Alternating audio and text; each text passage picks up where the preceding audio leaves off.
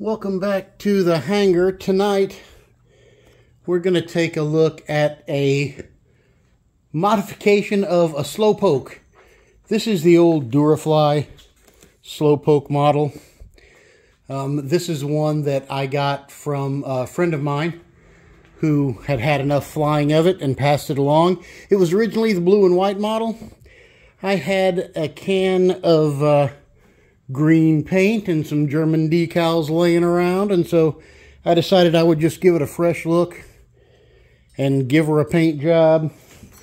It was missing one of the engine uh, uh, inserts that goes into the uh, uh engine slot here. So I actually removed them both, replaced them with a little bit of foam to just kind of fill in the spot Cat always wants to be a star. Um, and I'm calling it now the Langweiler instead of the uh, instead of the Slowpoke. So German for Slowpoke.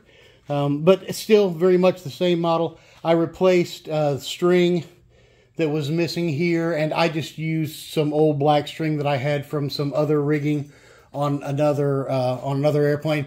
It still had the uh, uh original uh, rigging for the tail so I hung on to that. But anyway, just a, uh, quick walk around and look at the modifications that I made on this Slowpoke.